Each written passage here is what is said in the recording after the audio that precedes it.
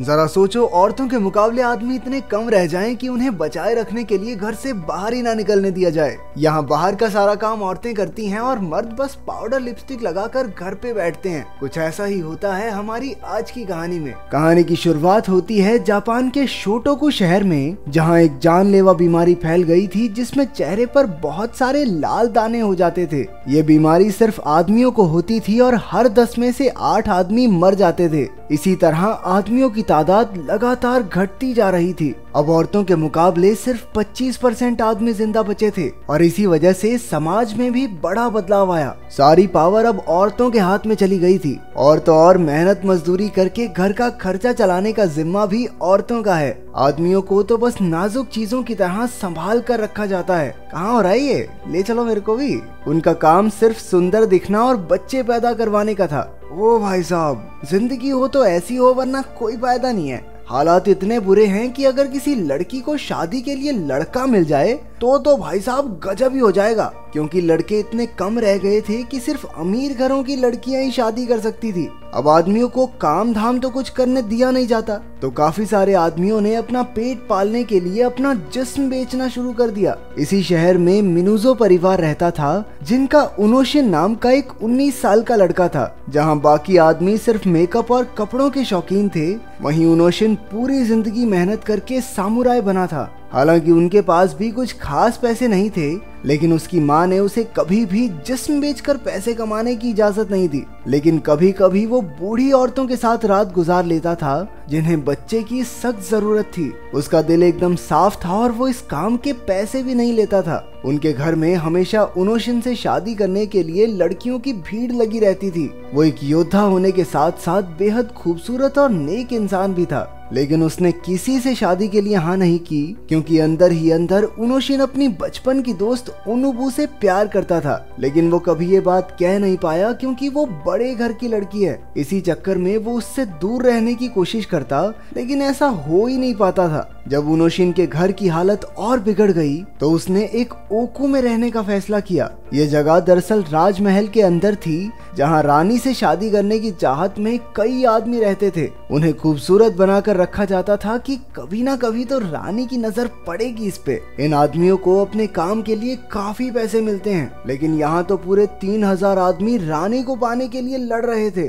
हम देखते हैं कि आदमी और औरतों के रोल्स एकदम बदल चुके थे, जहाँ औरतें अब सीधी साधी काम पर ध्यान देने वाली हो गई थी। वहीं आदमियों ने नखरे करने शुरू कर दिए थे। जब उनोशिन ने महल जाने के अपने फैसले के बारे में ओनुबू को बताया तो ओनुबू ने उसे समझाने की काफ़ी कोशिश की, लेकिन उनोशिन अपना मन बना चुका था। आखिरी बार वो ओनुबू को किस करके अपने रास्ते चला गया? महल में पहुँचने पर उसके टीचर ने बताया कि वो सबसे निचले दर्जे का नौकर है जिसे झाड़ू पोछा करना होगा। वहीं उनोशिन ने फूजी नामा को देखा जो वहाँ का सबसे ताकतवर आदमी था। इसके बाद वहाँ रहने वाले दूसरे आदमी उनोशिन के बालों का मज़ाक उड़ाकर उसे परेशान करने लगे। लेकिन उसे इस बात पर गर्व था कि ऐसे बाल सिर्फ़ सामुराई योद्धा रख सकते हैं। बाकी लोगों ने चिढ़कर उसे ज़्यादा से ज़्यादा काम दिया, लेकिन वो मेहनत करने से डरता थोड़ी था। उसे तो आदत थी। साफ़ सफ़ाई के दौरान उसके साथी ने बताया कि इज़्ज़त से बात कर मछली से।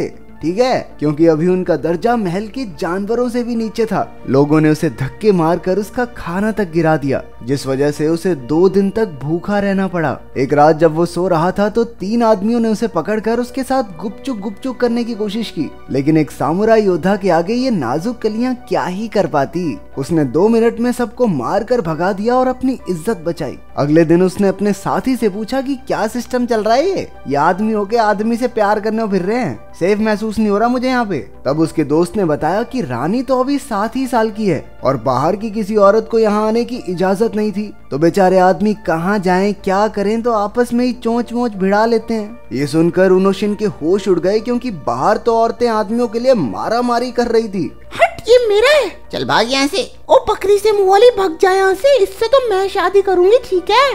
दोपहर के समय उनोशिन ने कुछ आदमियों को तलवारबाजी की प्रैक्टिस करते हुए देखा। उसने अपनी झाड़ू को ही तलवार समझकर प्रैक्टिस शुरू कर दी और फूजी नामी ने उसे ऐसा करते हुए देख लिया। वो उनोशिन को बाकियों के साथ डोजो में ले गया। उन्होंने उनोशिन को वहाँ के सबसे ताकतवर फाइटर सुरोका से मुकाबला करने की चुनौती दी। सब इस बात पर हंसने लगे, सुरोका से ये बच्चा लड़ेगा क्या?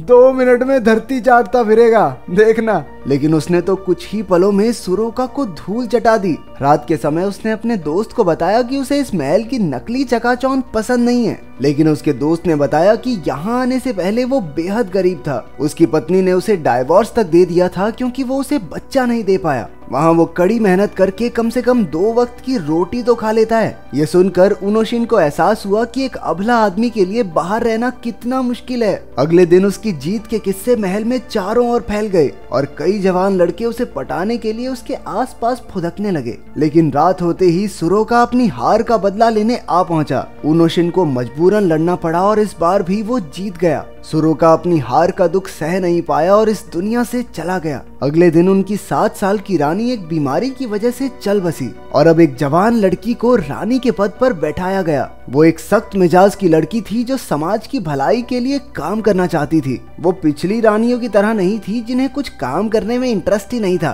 उसने पहले ही दिन एक औरत को काम से निकाल दिया क्योंकि वो कह रही थी कि एक रानी को तो महँगे कपड़े पहनने चाहिए। दरअसल वो नहीं चाहती थी कि महल के लोग महँगी चीज़ों में लदे रहे, जबकि देश भर में लोग भूख से मर रहे थे। उसके इस कारनामे के बाद महल में लोग उससे डरने लगे। अगले दिन वो शहर में भेस बदल कर चली गई। उसने ध्यान से देखा कि आम लोग कितनी मुसीबत से अपना पेट पाल रहे हैं। ज़्यादातर आदमी तवायफों की ज़िंदगी जीने के लिए मजबूर थे और उन्हें कोठे में रखने वाले लोग उनके साथ जानवरों से भी बदतर व्यवहार करते थे। आम लोगों को पूरा दिन मेहनत करके रात को ही रोटी नसीब होती थी। उधर महल में जवान रानी के आने से आदमियों की उम्मीदें जाग उठी थी। सबने उसके सामने जाने की तैयारियाँ शुरू कर दी, लेकिन सिर्फ़ हाई लेवल के आदमियों को ही उसके सामने जाने की इजाज़त थी। इसलिए उनोशिन जानता था कि उसका तो कुछ नहीं होने वाला, लेकिन उसकी तलवारबाजी से इम्प्रेस होकर फूजी नामी ने उसे भी हाई लेवल का बना दिया। प्रमोशन के बाद उनोशिन भी अपने कपड़े तैयार करवाने में लग गया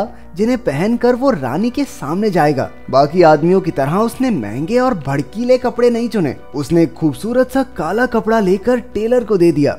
साकेवा नाम के एक दर्जी ने दिल लगाकर उसकी ड्रेस तैयार की, जिससे उनोशिन काफ़ी खुश हुआ। लेकिन इनाम के तौर पर दर्जी को कुछ देने के लिए उसके पास कुछ नहीं था। तो उसने दर्जी के होठों पर चुम्मी चिपका दी। बहुत बढ़िया चीज़ है ये, मैं तो कह रहा हूँ, पेटीएम हटाओ, चुम्मी पे शुरू करो।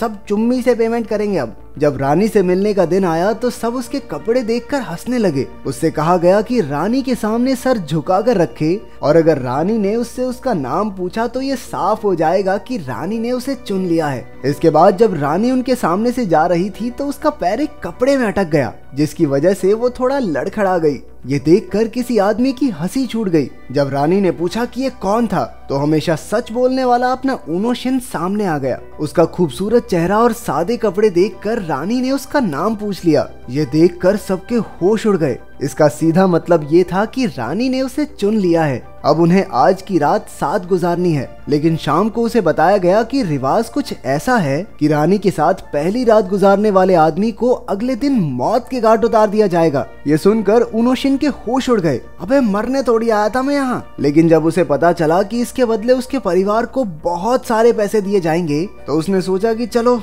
देखी जाएगी। उसी वक्त रानी को भी इस बारे में बताया गया जो अब तक इस बात से अनजान थी। उनकी छोटी सी मुलाकात से ही वो उनोशिन को चाहने लगी थी और वो ऐसा बिल्कुल नहीं चाहती थी कि वो मारा जाए। इसके बाद हमने फूजी नामी और टीचर को आपस में कुछ बातचीत करते हुए देखा। असल में ये सब इन्हीं का प्लान था क्योंकि वो उनोशिन को अपने रास्ते का कांटा मानते थे। इसलिए उन्होंने जानबूझकर उसे रानी के सामने भेज दिया ताकि वो उनके रास्ते से हट जाए। उसके मरने के बाद टीचर रानी को लुभाकर राजा बन जाएगा। उधर रानी के सामने जाने से पहले उनोशिन के दिमाग में बस अपने बचपन के प्यार ओनुबू के ही ख्याल आ रहे थे। वो बहुत दुखी था क्योंकि वो अब कभी भी साथ नहीं रह पाएँगे। इसके बाद उसे नई नवेली दुल्हन की तरह सजाकर रानी के सामने भेजा गया। बातों बातों में पता चला कि रानी का नाम दरअसल नोबू है। ये सुनते ही उनोशिन का दिल भर आया, क्योंकि रानी का नाम उसकी बचपन की प्रेमिका ओनोबू से बहुत मिलता था। इसके बाद उन्होंने पूरी रात कुछ प्यार भरे लम्हे साथ बिताए। अगली सुबह जब उनोशिन की आँख खुली तो उसे बताया गया कि रानी उसकी परफॉर्मेंस से बहुत खुश थी।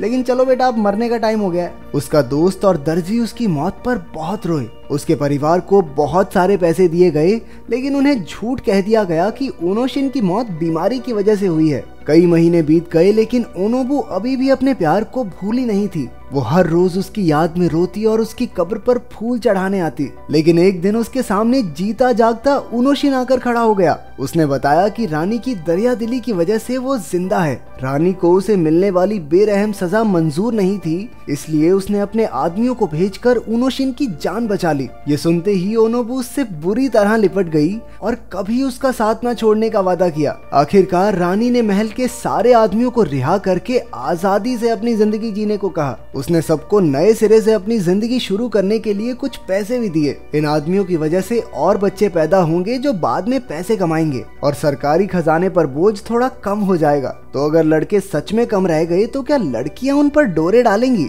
इस बारे में तुम क्या सोचते हो? कमेंट्स में ज़रूर बताना।